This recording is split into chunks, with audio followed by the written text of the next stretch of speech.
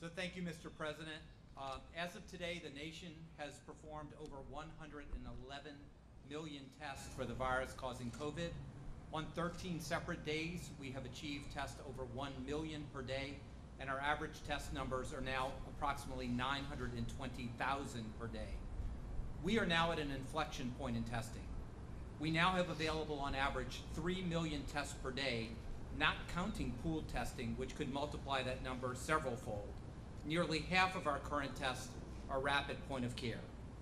All of the actions of your administration, including aggressive use of multiple titles of the DPA, hundreds of millions of dollars in HHS and DoD investments, and regulatory flexibility, including over 200 FDA emergency use authorizations, CLIA enforcement discretion, and application of the PREP Act, have led us to this inflection point, which brings us why we're here today.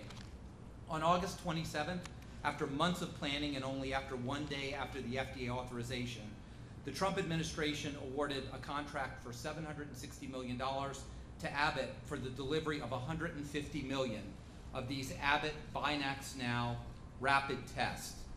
The Binax Now detects the presence of the COVID antigen. It uses a specific nasal swab, and that, oops, that swab comes with the test, and it's made by Puritan. And the reason why Puritan swabs are here is because the administration used the DPA and $120 million in investment to make these swabs able for, to use by Abbott. It does not require an instrument to determine the result. It's, 15, it's in 15 minutes, the result. Testing may be performed by laboratories with a CLIA certificate of waiver. This is not a home test. But during the health emergency, Seema Verma and CMS permits laboratories to extend their certificate to operate in temporary sites like schools or churches or parking lots. So though I, we anticipate that the test will generally be performed by a trained individual on a patient, I will demonstrate a self-swab for you to show you just exactly how easy the test is performed. So um, literally, it almost could not be easier. It starts with six drops of liquid onto this piece of paper. One, two, three, four, five, six. And then there's a nasal swab. And again, this is, uh, this is not the deep brain biopsy that we talk about. Uh, this will generally done by a healthcare provider, but it can be done supervised. It's this easy. One, two, three, four, five. One, two, three, four, five. Into the test, twisted three times. The adhesive is pulled off, and you wait 15 minutes. And that is the test. It really could not be easier than this. This is a very sophisticated little piece of cardboard with lots of antibodies and incredible technology into that.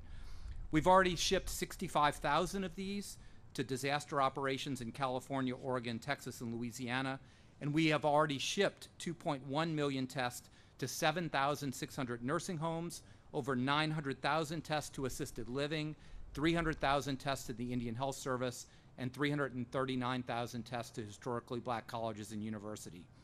Today, we start the shipment of 100 million tests to governors, beginning with a total of 6.5 million tests this week to be shipped this week. This is in addition to the continuing support to other priorities like nursing homes. Allocation to states and territories is based strictly on their relative population.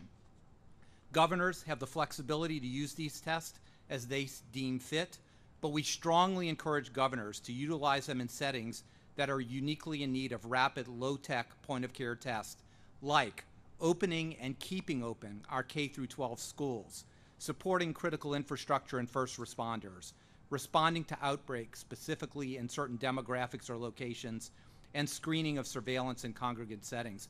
Mr. President, we just completed a briefing to the governors and their state health officials from the sit room, and we heard words like game changer for their states. Thank you, Mr. President, for your leadership and support of all our efforts to defeat this virus.